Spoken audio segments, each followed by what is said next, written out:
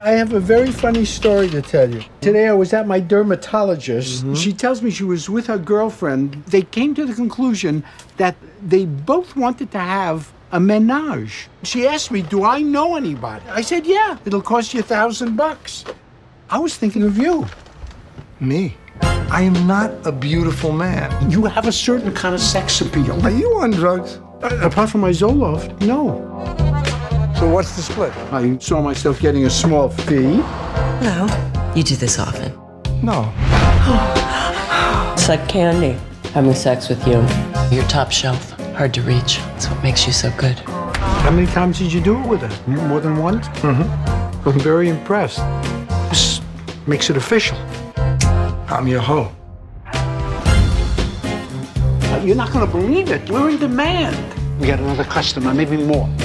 Oh, a gigolo, it's in the music business. They, they, you know, there's the music, the lyrics, and the, and the gigolo part of it. Have you ever done it before? You know, menage a trois. Uh, yeah, in 1977, during the blackout. Nobody could see anything, but uh, it was still very pleasant. Maybe I should try him. Do you have any idea what goes on inside a woman's head? A woman is meant to be looked at, or else she'll just fade away.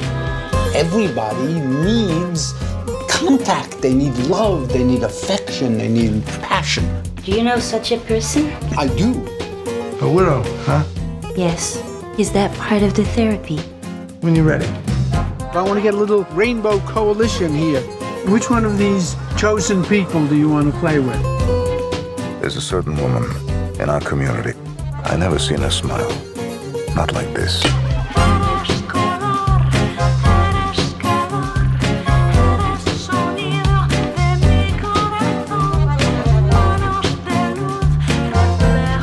So this is what you do? I guess so.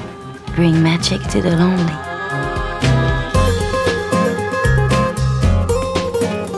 If you're a pimp, you gotta have a name. What about Dan Bongo? It's nice to meet you, Dan. Hey, Virgil and Dan, be the best you can. calor